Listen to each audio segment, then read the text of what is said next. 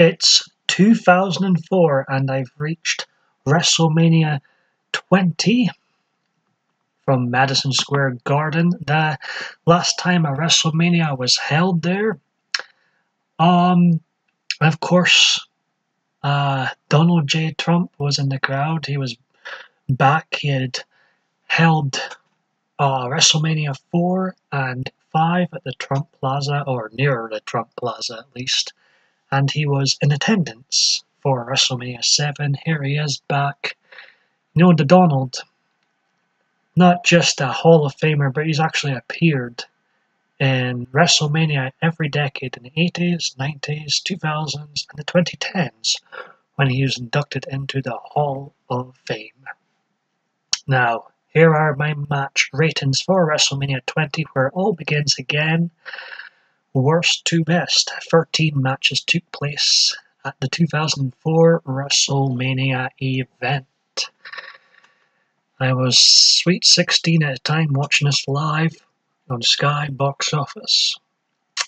13th place was Sable teaming up with Torrie Wilson to take on Stacy Keibler and Miss Jackie. No stars. It was just trash, you know, just like last year's uh, cat fight at 19. This was, you know, this year's version of that trash. Uh, four nice sights, well, two nice sights at least. Um, moving on, the 12th place match tonight was uh, Victoria defeating Molly Holly, and Molly Holly got her head shaved for not women winning the women's championship. Uh, a one-star match. You know what? Molly Holly actually looked pretty, pretty hot. I think I've got a thing for uh, women getting their head shaved. It seems, but Molly Holly did look hot. Moving on, uh, 11th place match is uh, the one of the tag team matches of the night. Both tag team title matches were um, four way affairs. Sudden death rules.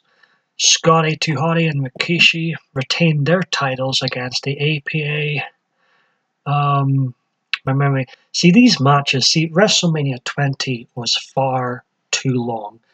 Like they could have cut out the fat from this and it would have been a much better, more enjoyable show. I think when a wrestling show or any show in general goes over four hours, like it's enough. Um, who who? Oh, the world's greatest tag team, Charlie Haas and Shelton Benjamin, were also in this match, and you know what? I can't remember. It was they were so forgettable. These matches, one star. Rob Van Dam, Booker T, and uh, versus uh, La Resistance, the Dudley Boyz, uh, Mark Jindrak, and Garrison Cade from the other tag team championship fatal four way sudden death match. This was another one star match, um, slightly more uh, entertaining, I guess, than the the 11th placed uh, tag team championship match. I still can't remember who else was in that match. That's going to annoy me. See if I can remember as I as this video goes on. Uh, oh, I've made a botch here. Good grief. There's actually only 12 um, matches took place at uh, WrestleMania 20. I've uh, made a mistake here when I was jotting down these matches. Anyway, the uh, ninth place match of the night was, um, or let's see, I've really made a mess of this. Uh, anyway, John Cena and the Big Show was the opening match for the United States Championship.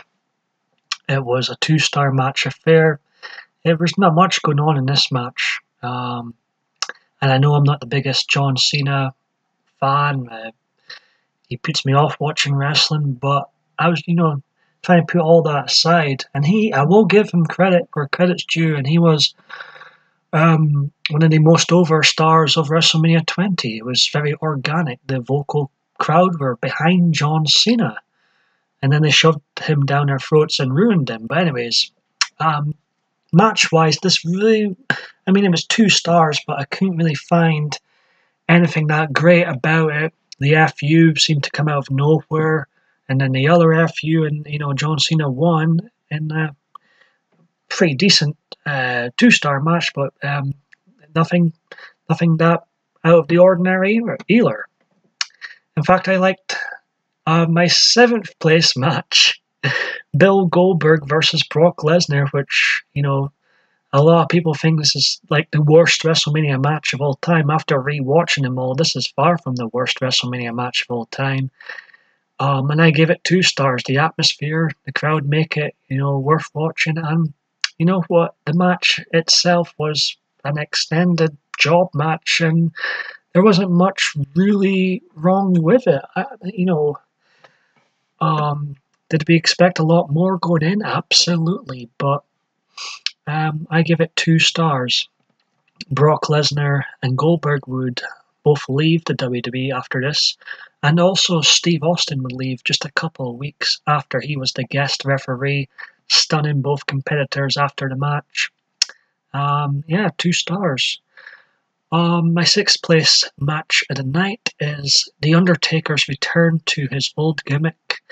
For a few years, he was the biker gimmick taker, and um, in this WrestleMania, he returned in his old dead man gimmick to take on Kane for the second time. The last two these two met at WrestleMania was WrestleMania 14, where Kane tombstoned uh, Pete Rose, who was inducted into the Hall of Fame this year, this 2004.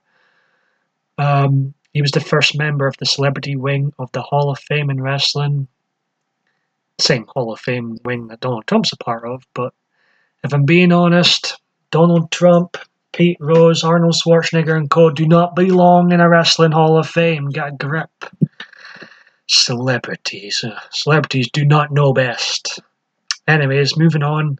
The Undertaker Kane, you know, I loved the entrance of The Undertaker, but this was a fairly basic match and, and just slightly better than the Goldberg Brock Lesnar affair. So two stars for this match. Also, two stars for the cruiserweight open match that I think had all the cruiserweights or most of them involved. Chavo Guerrero retained his cruiserweight championship last, eliminating Rey Mysterio, who was uh, one of the stars of the show. Uh, Billy Kidman also put in a solid performance like uh, Jamie Noble did, and Nunzio.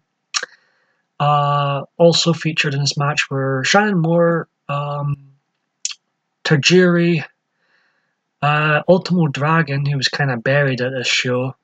Uh, what a waste he seemed, and and there's a couple others involved as well. There was ten altogether, two stars. It was a it was like a stunt show. This match, it was fast paced and uh, yeah, it was entertaining for what it was, but I can't rate it any more than two stars. Uh, the fourth best match of the night was the third match of the night Chris Jericho versus Christian in a pretty damn solid match. Um, had a great storyline leading into it, had a twist ending. Uh, you know, Christian defeated Chris Jericho, but at the end, Trish Stratus, whom everyone thought was against Christian and going to end up with Jericho in a relationship turned on Jericho. Um, so yeah, this was a fun soap opera, uh, you know, story-driven match, and yeah, they put on they both put on good work here. The third, and maybe one of the most entertaining matches of the night was Evolution, consisting of Randy Orton, Batista, and Nature Boy Ric Flair versus Mick Foley and The Rock, The Rock and Sock Connection. The veterans in this match stole the show, and Ric Flair was the best out of all of them. He really stole the show in this match. Uh, very entertaining stuff from Nate. Uh, the Rock was very entertaining, and Mick Foley was pretty solid too. And uh, Randy Orton and Batista in this match totally got outshined by Ric Flair, uh, The Rock, and Mick Foley. But Randy Orton did pick up the win for his team of RKO out of nowhere, taking down Mick Foley, where it all began again. Second best match of the night was the first of the two championship matches, heavyweight championship matches. Um, in second place with four stars, I pick Eddie Guerrero versus Kurt Angle. This is a very slow match uh, to start, but it, it's a very, very well done wrestling match. Um, I really enjoyed the storyline leading up to this match as well. I liked the whole um, Eddie Guerrero handcuffed and then Kurt Angle coming out and beating the crap out of him. That was, you know, good television. And um, yeah, four stars for me. Eddie Guerrero versus Kurt Angle. The only thing that annoyed me a wee bit was the end, and I wasn't really a fan of the sort of cheap win, but um, I mean, storyline wise, it did make sense, but I was expecting uh, something else, a little bit better ending to this match. But you know, it was a very solid match overall. The match tonight was uh, Chris Benoit versus Shawn Michaels versus Triple H. Now, by the time you get to this match, you're absolutely sick to death with wrestling. You would just want to uh, switch it off. You know, over a five-hour-long show is far too long for wrestling. But you know what? Um, if you're just putting this on, you know, a match, a single match to watch, you are not going to be disappointed. This is an outstanding triple threat match, one of the best triple threat matches I've seen. I gave it five stars. The crowd were fully behind Chris Benoit. This was his time. This was his WrestleMania moment. Uh, he won the match, making Triple H tap out, the first guy to tap out in a WrestleMania main event. Uh, Shawn Michaels was very, all three actually, Shawn Michaels, Triple H, and Chris Benoit were all very solid in this match.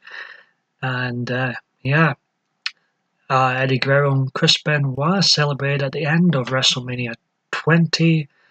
And, you know, it has obviously been tainted that moment since, you know, with outs, things that have happened outside of wrestling. But at the time, it was quite the moment and WrestleMania in my rewatched rankings is currently in third place.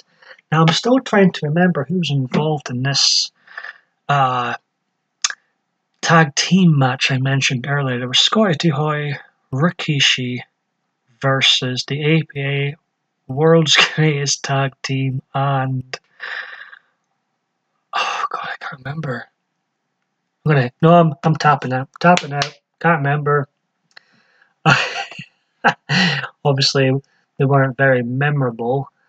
Um, but yeah, WrestleMania 20, one of the one of the a very long WrestleMania. I wish they would stop doing the long WrestleManias. Four hours is enough. But if you cut the fat out, one of the best WrestleManias of all time.